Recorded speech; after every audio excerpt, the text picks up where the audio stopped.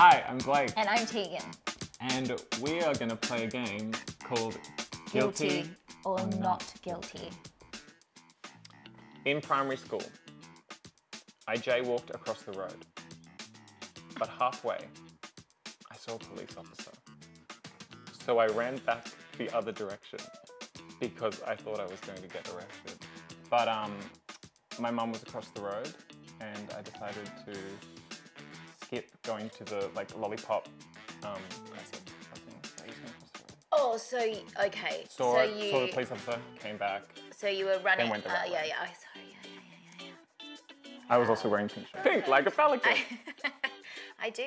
I worry that this is. Um, I worry that this is. This if this is true, yeah. and this is and these are the worst things that, That I've ever that done. you've ever done. that I'm worried about that. So I'm gonna say that it's true. It's not true. Not guilty! Ah. I can't Furious. pick you. You're very good at these. I can't get it. I can't.